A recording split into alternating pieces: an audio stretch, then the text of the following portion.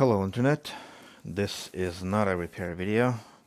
Originally I thought I was gonna do this video in in order to find someone who could give me an advice with this uh, 6900 XT that came in for repair a couple months ago and uh, originally I had rebuilt the core and it seemed like the problem went away but it was crashing randomly and I couldn't pinpoint the reason for that. So I told the customer, hey, this is a no fix, whatever.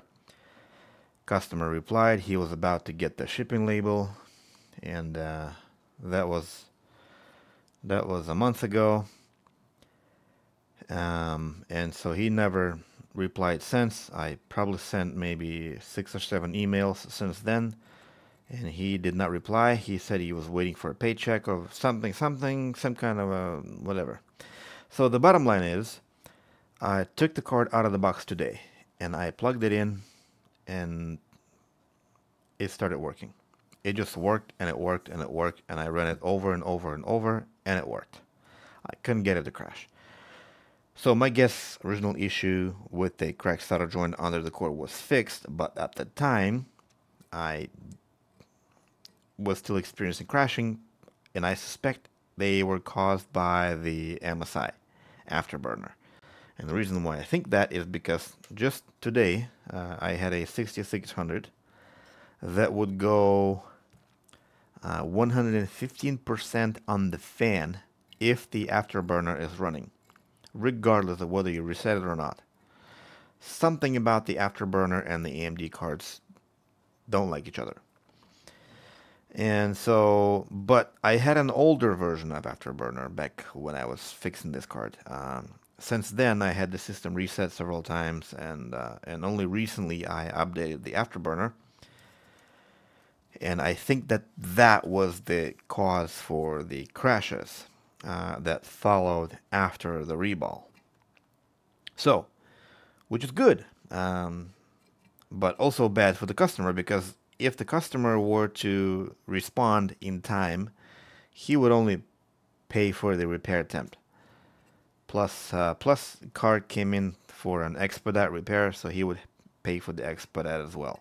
But he wouldn't have to pay the full repair price. Uh, but now that the card is fixed, he would have to pay the full repair price. Uh, however, there's a problem with the customer. I cannot get a hold of the customer. It has been six emails that I sent to him, and he hasn't responded to one of them. Um, his name is Richard Rose. The phone number that's on the label from the UPS is not his phone number. The address that's on the label is the UPS store address, and there is no note in the box that I could use uh, that you know with his phone number or anything. So I have no idea how to get in contact with the customer. So the reason for this video is originally I, I thought I was gonna get some uh, someone to help me out with uh, diagnosing the problem, uh, but two months later I figured it out. Uh, and so the reason for the video suddenly changed from help me to help me help me fix the, the GPU to help me find the owner. And so hopefully uh, the owner will watch this, and the owner's location, I think, um, given the fact that the label says Santa Rosa, California, it is safe to assume that the owner lives somewhere nearby. So hopefully, uh, if if the guy named Richard Rose from California, Santa Rosa, is watching this video, your card works. You need to contact me uh, because otherwise I'm gonna sell it because um, I do not keep your GPUs here. I'm not a storage facility. Uh, as per agreement, I give you a month to take your GPU when I'm done with it. So if if it stays over a month, I I reserve the right to sell it per our agreement. So uh, that has never happened before, though there was a time where when I had to uh, hold on to a GPU for a little longer. Uh, it was a 4090. Uh, some kind of a story happened with the guy. Whatever. Um, he ended up finally getting it back. Um, but um, so yeah. So this is like a. This video is basically a desperate attempt of getting a hold of a customer. So if I'm not going to get a hold of the customer, then